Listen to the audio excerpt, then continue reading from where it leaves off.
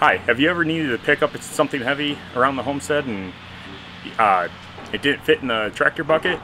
Well, today I'm going to show you how to install some bolt-on hooks to help you out um, to strap things with chains and pick up and move some larger objects.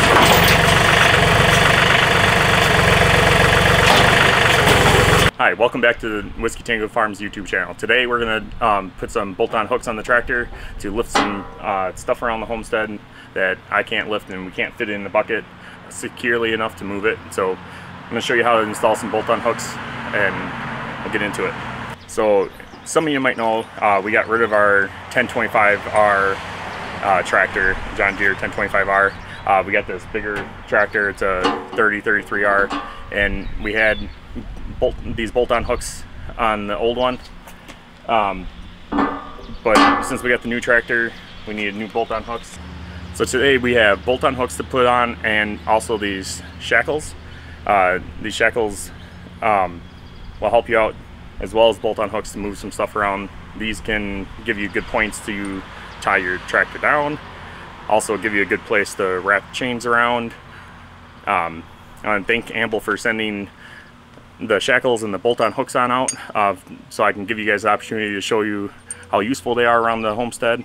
We'll get into getting these installed right now. All right.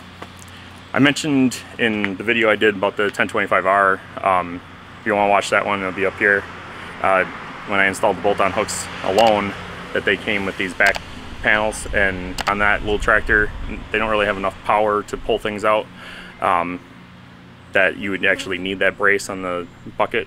This tractor definitely does, so make sure you do put these on a bigger tractor like this. Um, so it's got the back brace and the, and the hook, and you're, you're sandwich this between the bucket. All right, now we can get into it. With these hooks, you don't want to put them along where your arms are here. It's the best place and the strongest point um, for lifting and also so you don't bend the bucket.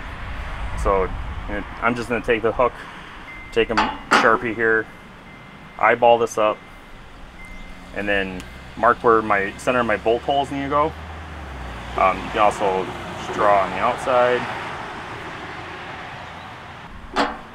So I got my two holes where it lines up here and it's pretty straight. Um, the shackles I think I'm going to install on the outside here towards the edge of the bucket. Um, but then we'll we'll start drilling the holes here. I have a 3 8 inch drive um, drill bit. I think you really kind of need a half inch drive, or not 3 8 drive. I have a 3 8 inch drill bit here. You should really have a half inch drill bit. I don't have one on hand right now, so we're going to try to make do with this. Um, the bolts are 3 8 inch, so we'll just get drill the holes here and get going.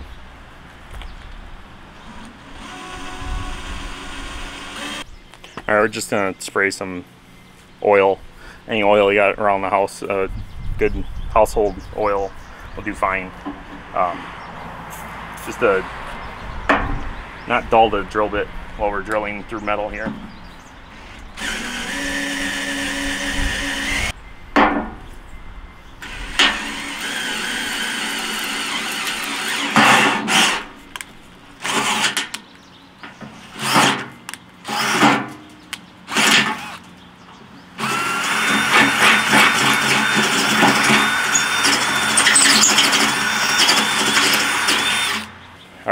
The 3 8 inch drive drill bit was definitely um, too small for the bolt to go through.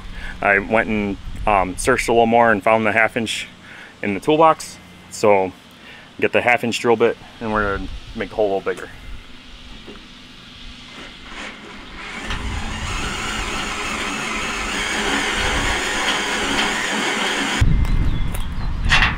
Definitely fits.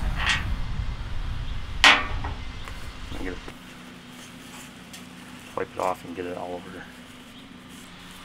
All right, so I got the first hole drilled. It's always a good idea to make sure your holes that you marked before are still lining up. Um, this one definitely doesn't. I can go go ahead and show you that. So I got the first hole drilled. As you can see, um, put the bolt in, line it up. That does fit. And then how off um, that first marking was. So, I mean, it's got a little play in there. We're not too far off, as you can tell. Um, but I'm gonna go ahead and kind of remark it, remark the center, and then drill second hole. So got the drill, the holes drilled.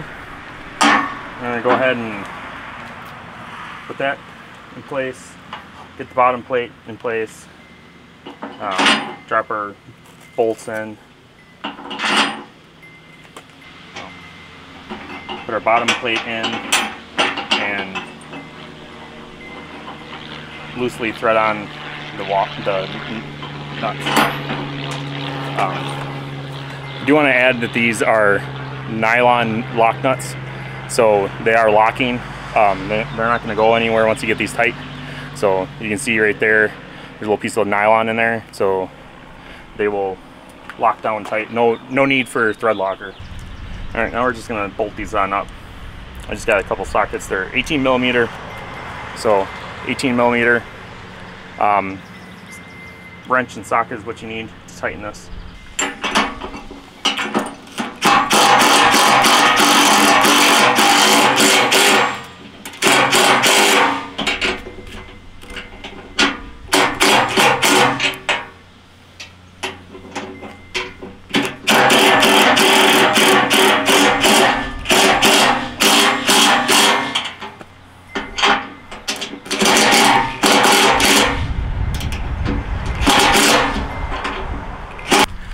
Next we're gonna put the shackles on.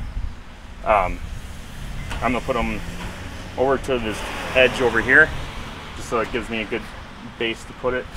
Um, I'm just gonna try to make it even between the plates here, and it's gonna give good strength next to this edge here too. Um, like the bolt-on hooks, it does have back plates, so you want to use that as well to give some strength to this lip because this lip isn't very strong. You don't want to rip a hole in your bucket. So just like the shackles, I'm just going to mark it.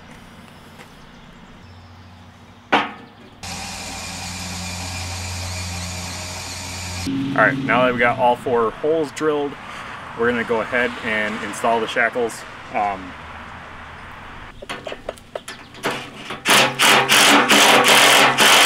right, we got um, this side all bolted up um, and tight.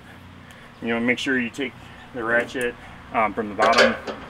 Since I was using the um, impact from the top, um, you really should be tightening from the nut side, not the bolt side.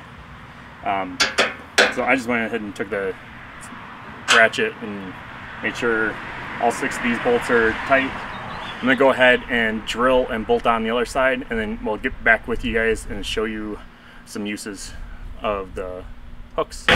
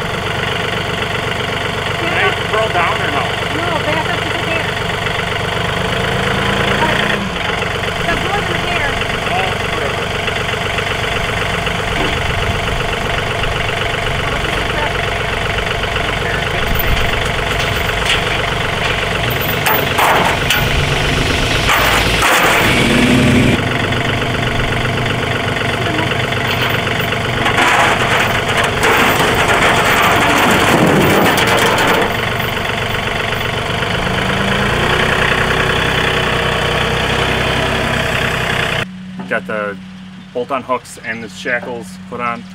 Um, just wanted to mention the you know bolt-on hooks are good for hooking chains and hooking heavy objects. Like I said before, shackles can be used um, in combination with uh, D D uh, rings um, you put on here, or you can use it as a point to attach to.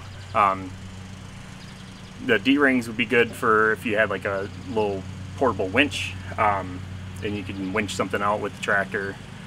Uh, or um, you can use these when traveling on the trailer um, as some mount points to attach to um, some additional mount points I'd attach to the axles of course.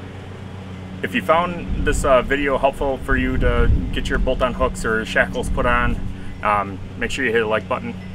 I would appreciate it. I just want to thank Ambull again for sending these out so we can uh, show you guys how to hook these up and some practical uses for them. Uh, if you want to see how I hook these ones up on the 1025R, just click over here. And thanks for watching. Bye.